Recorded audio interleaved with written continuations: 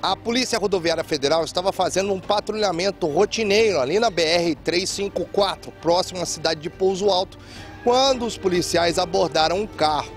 Dentro desse veículo havia um homem, de acordo com a PRF, que tinha um mandado de prisão em aberto por um estupro que teria ocorrido no ano de 2013. Segundo a PRF, ele teria estuprado as filhas, que na época tinham 13 e 16 anos. Esse homem foi preso e conduzido à delegacia da cidade de São Lourenço.